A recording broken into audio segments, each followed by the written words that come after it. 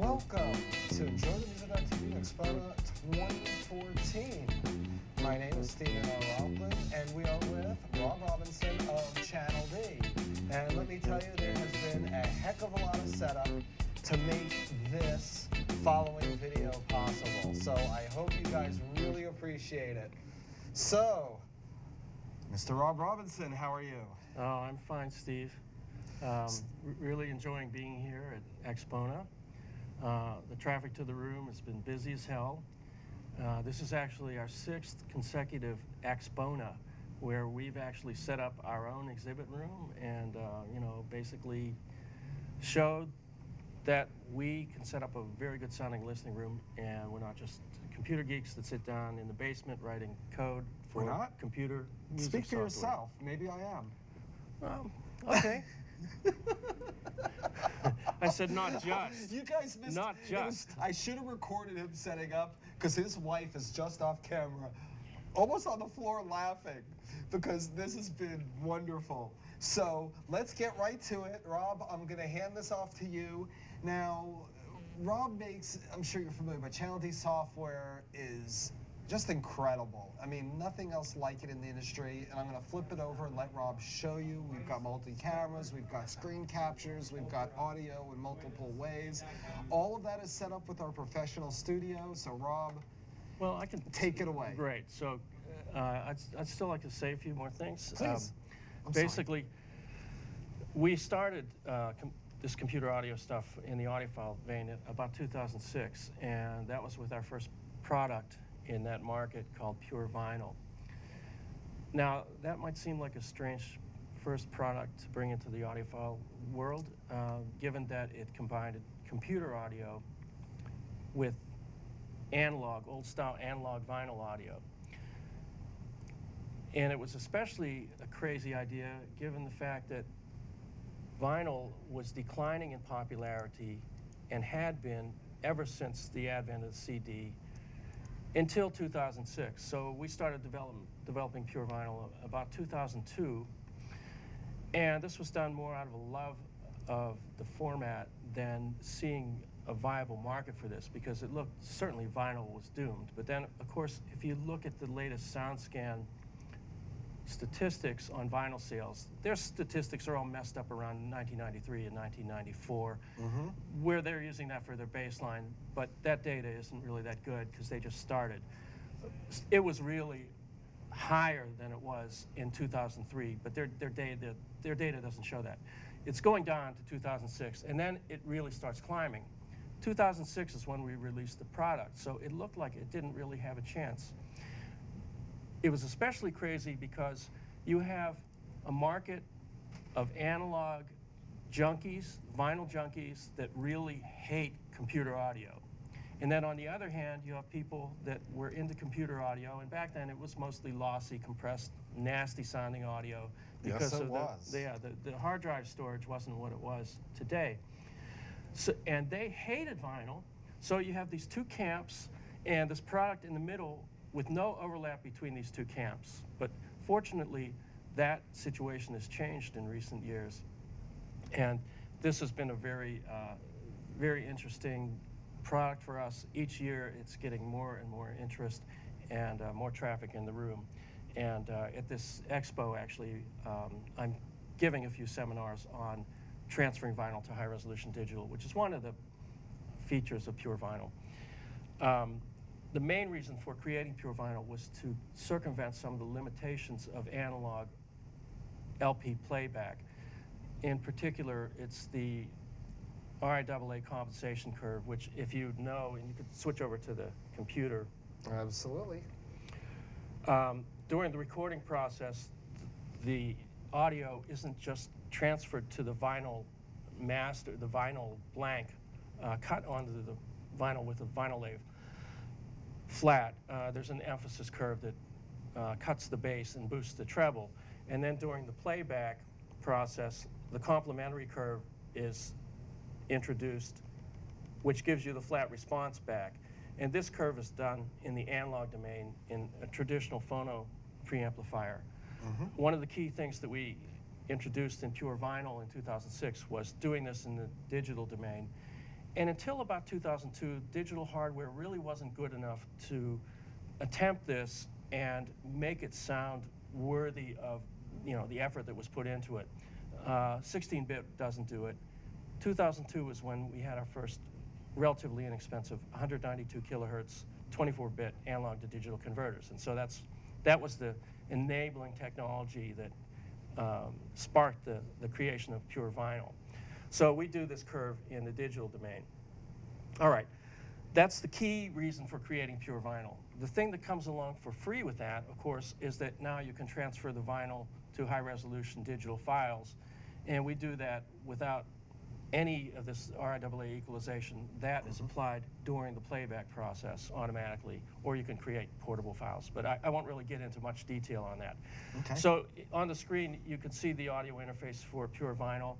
And this is the view that happens when you're about to record an album. And actually, it's not very exciting. You just put the album on. There's a triggering feature that you set that waits for the vinyl uh, stylus to drop, and then it begins the recording. Uh, it's kind of boring. You just sit there for 25 minutes and then, or 20 minutes, and then you flip the record over. It waits until you tell it, I'm ready to go, and then drop the stylus. So we'll move to the next step here. And I'm going to show a few key features of the new Pure Vinyl 4, which was just released on April 2nd of this month. Um, we'll open up a- an existing recording, and here we've got a, a recording where we've already put tracks in, and it does indicate where the track uh, positions are. And I can select individual tracks and play them. And you can see the little markers on here that show where the track markers are. All right, so in Pure Vinyl 3, which is the previous version, there was a semi-automated feature that allowed you to determine where these track positions were. But in Pure Vinyl 4, during the recording process, what you can do while you're otherwise not engaged doing anything else, you put in a list of the track names and track times.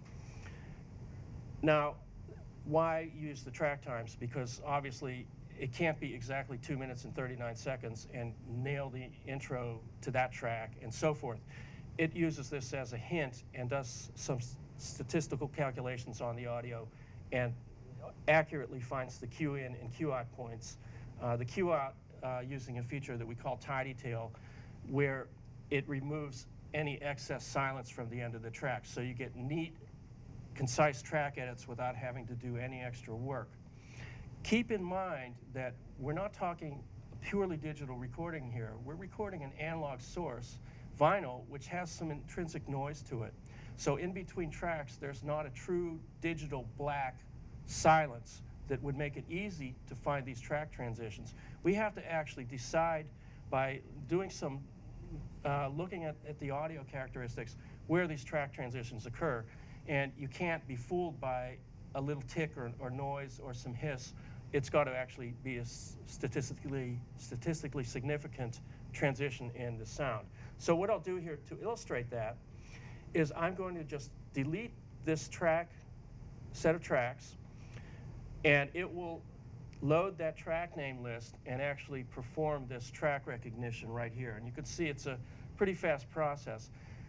Actually, the computer I'm using to do this is about uh, four years old uh, because it's a free com- uh, spare computer I had at the show uh, with an HDMI output.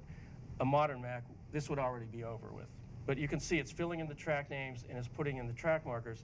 And I'll prove that it's actually nailed these, these track intros accurately by clicking in turn on these individual tracks.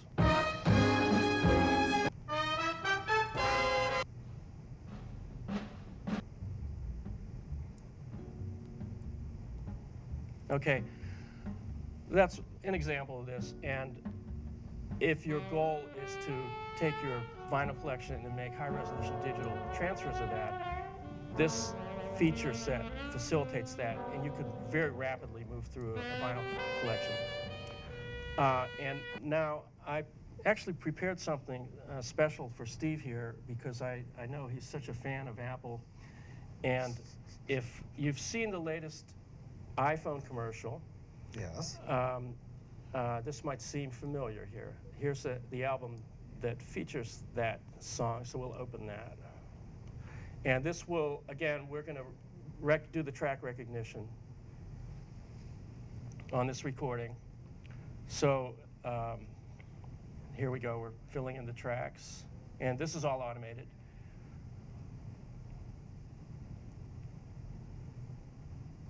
Okay, side two. And then it'll flip back to side one. Bring it.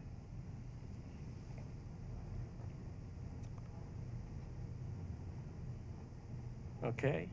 And we'll play this.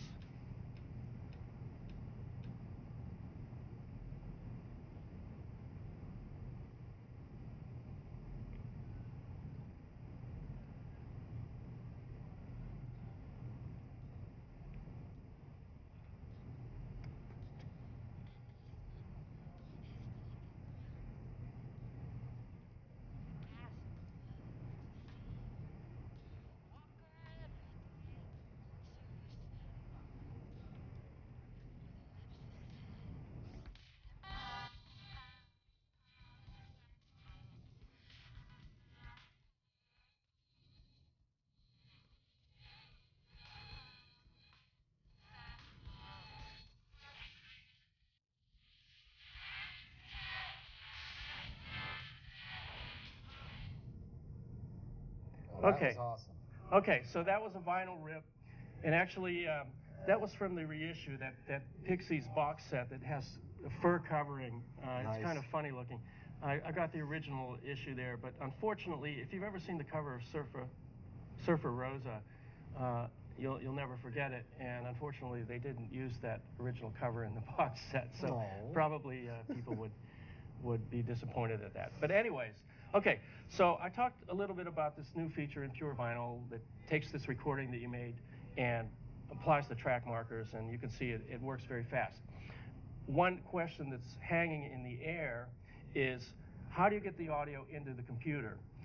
Uh, you use something called an, an analog to digital converter. These are commonly available nowadays, and uh, we've got some down in our exhibit room.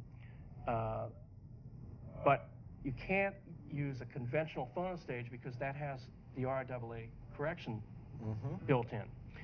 Uh, and my company has created a line of, of phono stages. You can also use a microphone preamplifier because that's just flat gain, and a moving coil cartridge is a coil in a magnetic field like a microphone, so it looks like the same type of electrical source as a microphone uh, to a microphone preamp. But uh, we added some extra features that make it a little bit easier to use in a vinyl playback setup, such as cartridge loading, adjustable gain, and so forth, low noise, ultra wide bandwidth. And I have one of those units here, and this is our brand new, which we call Seta Piccola, and that means little Seta in Italian. And Seta also is an Italian word meaning uh, silk. So it's the little silk phonostage. Uh, our Seta phonostages are all characterized by frequency bandwidth of DC to at least 1 megahertz, that's minus 3 dB, ultra low distortion, and low noise. And in this case, we've also got a rechargeable AGM type battery, which goes offline when a signal is detected. So you're completely running on battery power. Um, my background is in electrochemistry and batteries. And one of the things that people think about when you're using rechargeable batteries in audio is that you go you go off the grid. Okay, that's one minor benefit, but what batteries really buy you, especially rechargeable batteries, is their ultra low circuit impedance and ultra low noise. They're a very, very stiff power supply rail, and it's basically a brick wall or a black hole uh, um, for, for any noise that is in the power supply. So I have one of these here, and we can uh, take a look inside. Um, this is strictly balanced input and balanced output.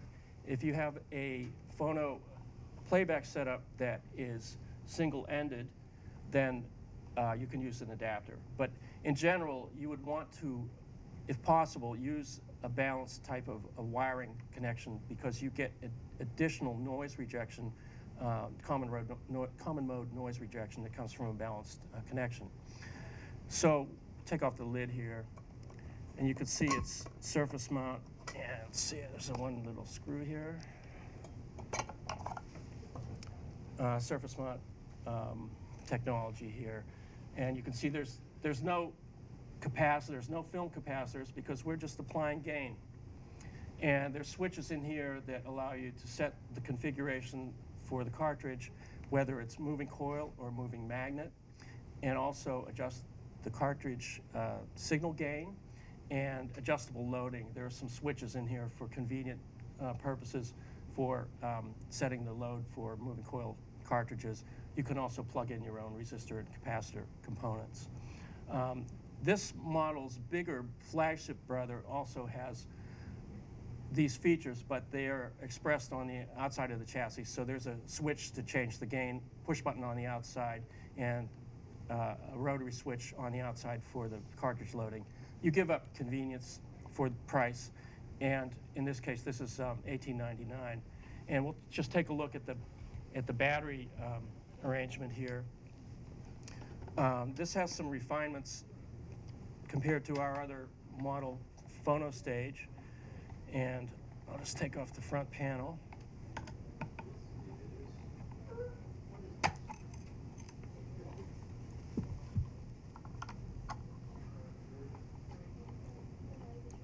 One of the things that we found is very important in using these type of low impedance batteries is that you, to take full advantage of that, you need to minimize the inductance in the connection between the battery and the circuitry that you're trying to use it with. The only way you can do that is to make those connections as short as possible.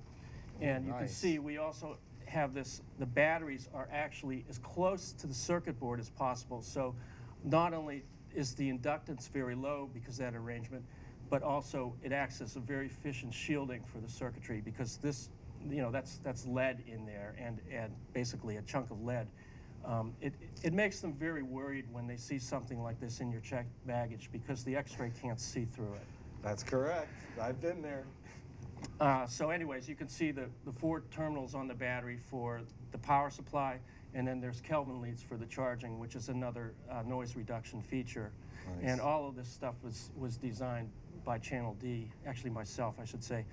And, um, um, you know, these are becoming very popular right now because um, people want a very high quality phono stage with flat gain that they can use with a high quality analog to digital converter. And so that's why we created this. Okay, and where would you like to go next? In terms of our products, um, we're working hard on software updates for Pure Vinyl and also our other product, which is the, the award-winning Pure Music player. Um, we had announced that we were going to be delivering a version 2.0 update, but you know, as software goes, those things always fall behind schedule.